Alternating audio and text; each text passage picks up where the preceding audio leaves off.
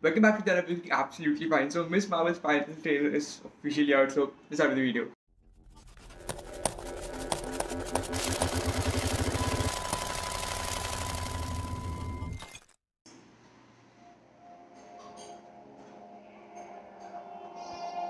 Woo! A new logo. Okay, so first off, I just want to say, I get it. You get what? High school. Kamala. Wow. Another adventure shirt. Cute. She thinks I'm some kind of weirdo. You were weird. Boys. Excuse me. Okay.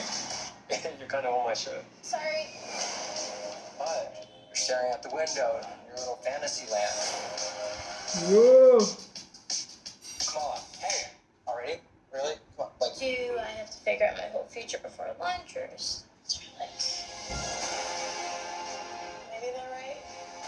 spend too much time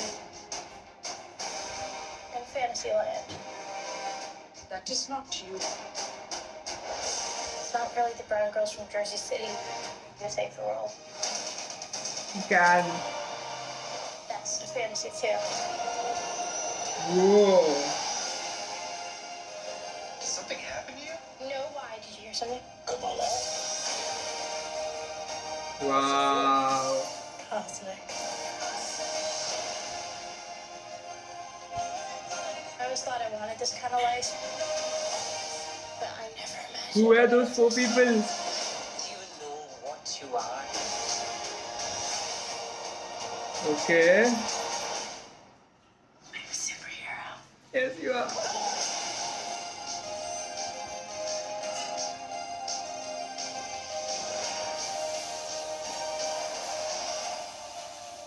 Only on Disney Plus.